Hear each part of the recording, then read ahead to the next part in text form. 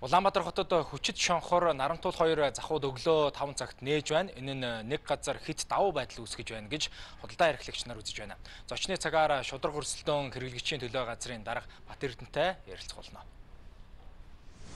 Өдрийн төргийн үзэгчтэй хөтөлбөр зочны цагаар үргэлжлэн хурж байна. За бид шудраг өрсөлдөөн хэрэглэгчийн төлөө газрын дарга Бат Эрдэнэтэй ярилцах гэж байна. За танд өдрийн төргий. Өдрийн төргий.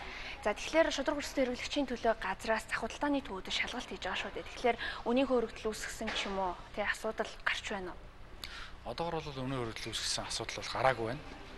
Аа худалдаа эрхлэгчтэй маань хувьд бол ялангуяа хүсэж байгаа нэг зүйл нь бол нийлүүлэлтийг нэмэгдүүлж өгөөч гэдэг ийм хүсэлт бол ирж байна. А яг тэгэхээр хатуу хөлөөрөйтэй холбогдуулаад үйлчлүүлэгч хэрэглэгч гэхээс илүүтэй худалдааны том зах худалдааны төвүүд маань бол жижиг дэлгүүрүүдэд бараа нийлүүлэх зорилтоор л одоо ажиллаж байгаа шүү дээ ханган нийлүүлэх чиглэлээр. Тэгэхээр махны нийлүүлэлт багассан багассан гэсэн мэсэн энэ нас үнэнд нөлөөлж байна уу та бүхний шалгалт хийж байгаа. Яг нь ер нь бол 11 сарын 11-ний өдрөөс бүх нийтийн бэлэн байдлын зэрэг тогтоосон толгодуулаад шудраг өстэй хэрэглэгчийн талаа газар өдөр тутмын хяналтыг бол хийж ажиллаж байгаа. А үүний хүрээнд бол өнгөрсөн 11 12 сард бол дунджаар нэг 70 орчим тонн мах нийлүүлдэг байсан болвол цагаан сараас хойш бол өдөртөө нэг 7-оос 10 тонн мах жишээлх юм бол хүч шанхар худалдааны төв дээр нийлүүлэгдэж байна. За Улаанбаатар хотын постуудаар орж ирж байгаа махны нийлүүлэлтийн хувьд бол бас эрс багассан ийм байдалтай байж байгаа. Тэгэхээр бид нар Улаанбаатар хотын захирагчийн ажлын албатаа бас дээрэс нь хүнсүүд аж ахуйн өнгө үйлдвэрийн яам Монгол улсын шадар сайдад энэ нийлүүлэлттэй холбогдлолтой асуудлаар бол ялангуяа энэ зах худалдааны төвүүдээс ирсэн хүсэлтийг үндэслээд албаас хүсэлтийг бас илгээж гисэн байна. Яаж одоо нийлүүлэлтийг тодорхой хэмжээнд нэмэгдүүлэх вэ? Аа бүр одоо болохгүй тохиолдолд бол нөөцийн махыг бас гаргах энэ асуудлыг бид нар хэлцээд ярилцаад явж байгаа гэсэн үг. Одоо маргаашнаас эхлээд одоо улс орон даяараа энгийн амьдрал шилжих чинь. Тэгэхээр энэ махны нийлүүлэлтийн асуудал ер нь хэвийн горимж шилжинэ гэж ер нь ойлгож болохоор байна уу? Тий, яг нь нийлүүлэлтийн хувьд бол бид албаасны хүсдэг бол тавьчихсан байж байна. За ер нь бол жил жилийн цагаан сарын дараа бол нэг 10 орчим хоногийн хугацаанд нийлүүлэлт бол тодорхой хэмжээнд багасдаг. Энэ ч өөрөө нөгөө малчт маань өөрсдөө цагаан сараа өргөн дэлгэр тэмдэглэлтэй бас холбоотой асуудал.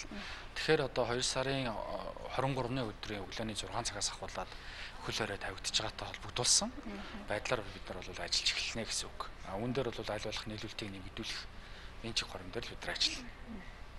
Одоо бас хомсдолд ороод байгаа нэг нэрийн бүтээгдэхүүн бол ялцч өндөг гэдэг байгаа шүү дээ. Тэгэхээр энэ өндөгний нийлүүлэлтийг нэмэгдүүлэх арга тал ер нь байгаа болов уу? 2 сарын 23-наас Алтан булгийн одоо бомтоор орж иж байгаа тээврийн хэрэгслийн тоо бол нэмэгдэнэ гэж бид нар ойлгож байгаа тодорхой хэмжээнд. Ягаад тэгэхээр манай Монгол улс ч өөрөө жилдээ 300-аас 350 сая өндөгний хэрэглээтэй.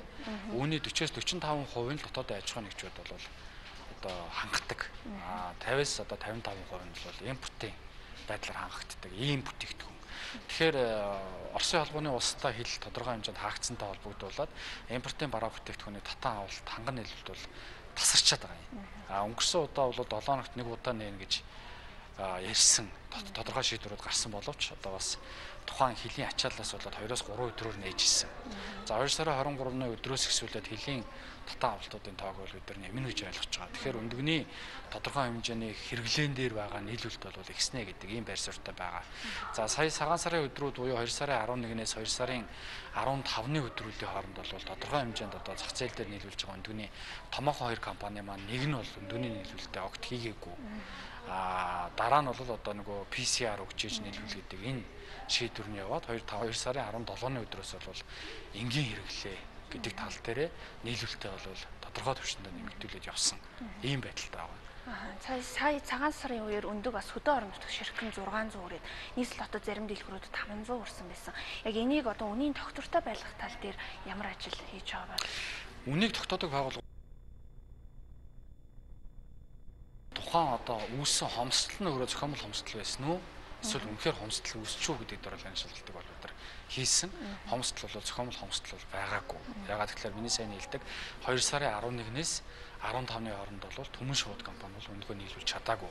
А үнэн нь өөрөө юутай холбоотой вэ гэхээр Улаанбаатар хотын захирагчийн ажлын албанаас тухайн одоо зах худалдааны төв болон бусад барааны дэлгүүрүүд, хүнсний дэлгүүрүүдийг 2 сарын 11-ээс 16-ны хооронд ажиллуулахгүй гэдэг ийм чиглэлийг бол урд нь өгчихсэн байсан шүү дээ.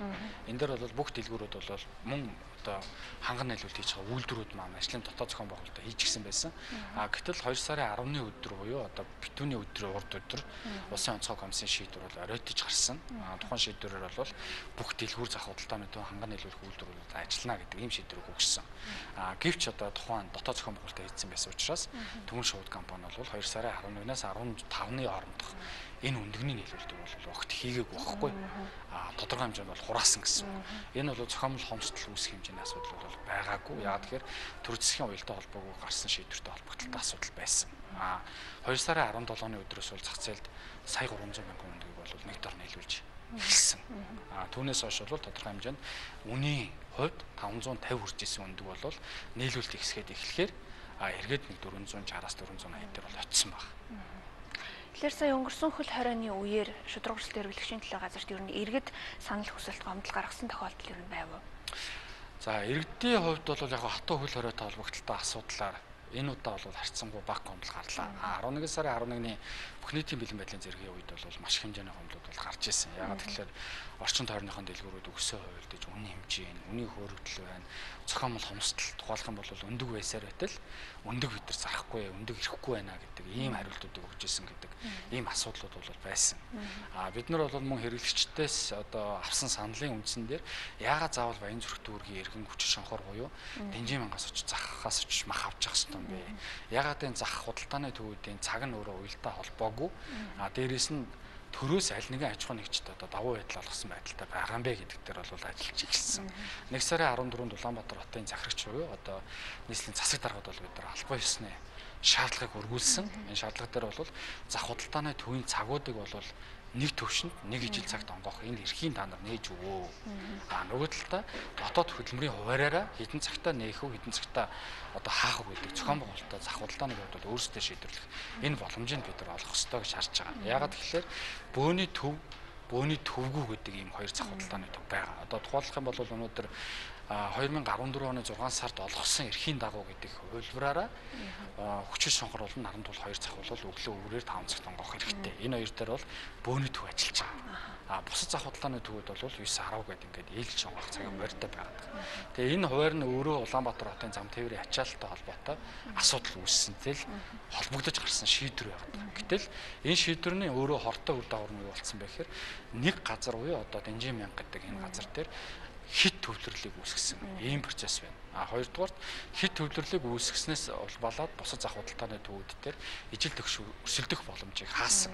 Ийм зүйл байна. А гуравдугаарт хит төвлөрөл нэг газар үүссэн гэдэг утгаараа хоорондоо өсөн хувилдах үнийг тогтоох. А нөгөө зах зээлийн үндсэн зарчмаар явах байсан.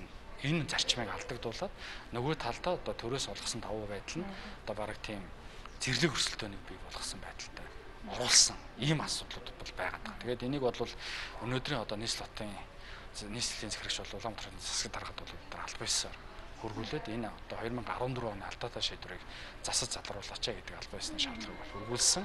Аа нийслэлийн засаг даргын тамгын газраас бол Улаанбаатар хотын захирагчийн ажлын албаар дамжуулаад албан ёсоор санал аваад эхэлчихсэн ингээ явж байгаа юм байна. А хэрвээ энэ захирамжийг цуцлахгүй бид нар Монгол улсын ерхий сайдад хандна. Одоогийн байдлаар одоо нийслэл хотод байгаа бүх одоо захууд ер нь онгоосон хэвээр байгаа юу?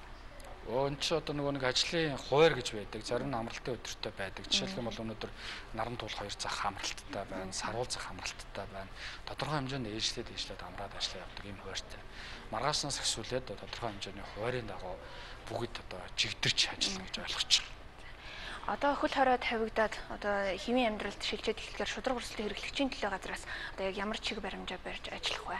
Ямар шалгалт хийгдэх вэ? Бид нар бол хатуу хөл хоройны цаг хугацаанд хяналтыг тавьж ажиллаж байгаа. Яагаад тэгэхээр тухайн бүс нутагт нь бүс хэсэгт нь бол хатуу хөл хорой буюу ийшээ тийшээ явах боломжгүй байдлаар тухайн одоо дэлгүүр ялангуяа хүнсний бүтээгдэхүүн худалдаж авах эрхийг нь бол хязгаарладаг шүү дээ. Тэгэхээр үүнтэй холбогдуулаад хатуу хөлөөрөөний цаг хугацаанд бол манай байгууллагаас хяналтыг тавьж ажиллаж байгаа. А хатуу хөл хорой сулруулахад манай байгууллага бол хяналт шалгалтыг бол татан буулгадаг.